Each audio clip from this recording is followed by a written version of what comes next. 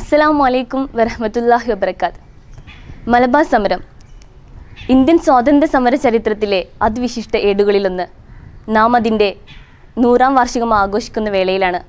നാടിന്റെ മുക്കുമൂലകളിൽ നടന്ന ചെറുതും വലുതുമായ പോരാട്ടങ്ങളിൽ ചെറുത്തുനിൽപ്പുകളിൽ വീരമൃത്യു വരിച്ച ആയിരക്കണക്കിന് പോരാളികളുടെ കുഴിമാടങ്ങൾ നമുക്ക് മലബാറിന്റെ വിവിധ ഭാഗങ്ങളിൽ കാണാം.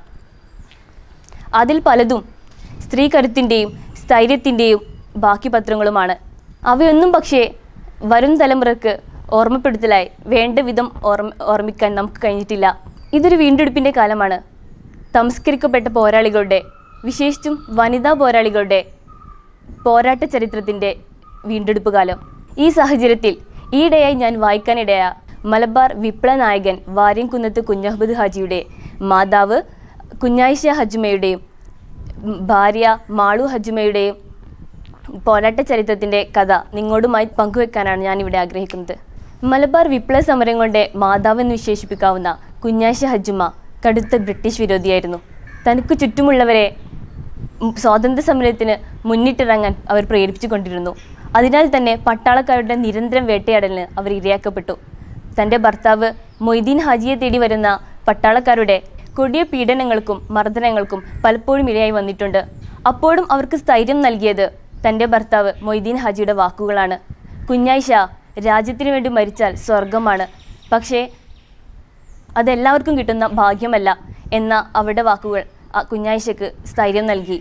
തന്റെ മടിത്തട്ടിൽ വെച്ച് തന്നെ പ്രിയപുത്തൻ വാര്യം കുന്നത്ത് കുഞ്ഞഹമ്മദ് ഹാജിക്ക് ബദ്റിന്റെയും ഉഹുദിന്റെയും ഇതിഹാസ കഥകൾ പറഞ്ഞു കൊടുത്ത് തങ്ങളുടെ മക്കൾ മക്കളെ എങ്ങനെ ധീരമായി ദേശാഭിമാനികളായി വളർത്താമെന്ന് ഏർനാട്ടിലെ ഉമ്മമാർക്ക് ഈ ധീരവനിത വനിത പഠിപ്പിച്ചു കൊടുത്തു.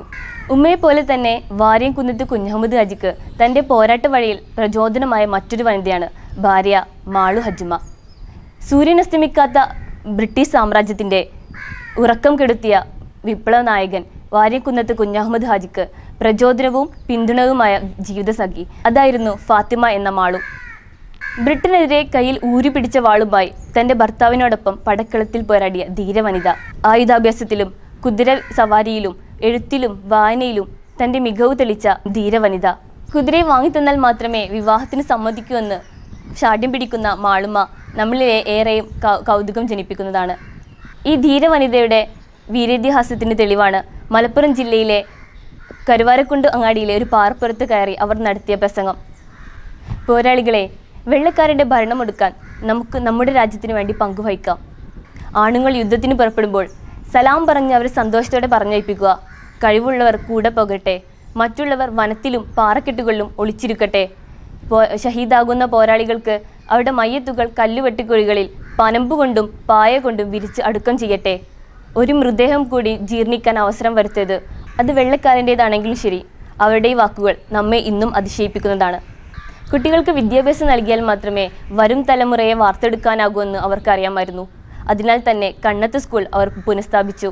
ചകിതരായ കുട്ടികൾ സ്കൂളിലേക്ക് വരാൻ മടി കാണിച്ചപ്പോൾ തന്റെ പാടത്തും പറമ്പിലുള്ള എല്ലാ വിഭവങ്ങളും സ്കൂളിനായി ഏറ്റെടുക്കാൻ വനത്തിലിരിക്കെ തന്നെ അവർ നിർദ്ദേശം നൽകി.